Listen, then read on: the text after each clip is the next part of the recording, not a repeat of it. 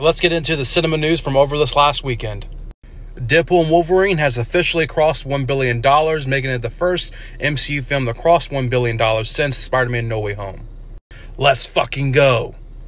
Harold and the Purple Crayon crossed $13 million worldwide, box office wise, and on a $40 million budget. So, yeah, it was a bit of a, it was a way, way big flop. Okay, so it looks like that RDJ is returning to play, you know, both Doctor Doom and Iron Man and the MCU.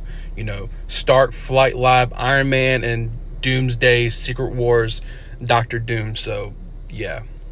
So it looks like we're going to get a little bit of both worlds, uh, the best of both worlds, if you will. I don't know about this. I feel like they're kind of really overdoing it with the whole RDJ returning to the MCU. I would love for him to return for Secret Wars and you know whatnot. Obviously now he's Doctor Doom, but like I don't know. I'll let them cook. I'll, I I trust them, but I feel they're a little bit overplaying, if you will. Charlie Cox confirms and teases that Marvel cameos in Daredevil Born Again will happen. There's a couple of small moments of collision, so we might see some MCU appearances.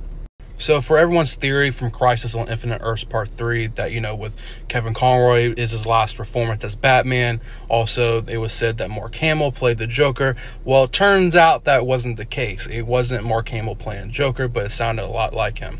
But they updated that whole version of the scene. You can go check it out on my Twitter to see the difference between both scenes. But they uh, on the digital digital rent rental version of the movie has now been updated with Hamill's performance. So basically, there is a new version out there. If you have the digital uh, version, it's the updated actual version of Mark Hamill voicing Joker, which means they probably got him to re-record those lines. Um, but if you have the uh, hard copy, then you have the the fake Mark Hamill version. It basically. They have dropped their first teaser for Squid Game season two, and will be released on December 26th on Netflix. Bad Boys Ride or Die has passed $400 million in the box office, making it one of the biggest, highest grossing films of 2024. And I'm so happy about this news. It's well deserved. I'm, I'm so glad that this film is getting so much success for what it is. So, your friendly neighborhood Spider Man animated series is reportedly to release on Disney Plus on November of this year. It looks like we're getting two Halloween games, and those games will allow fans to relive classic moments from the movies.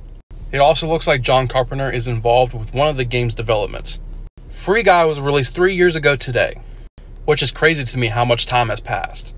Tell me your favorite moments from this film. Do you like it? Do you hate it? it tell me about it. What you think about this film?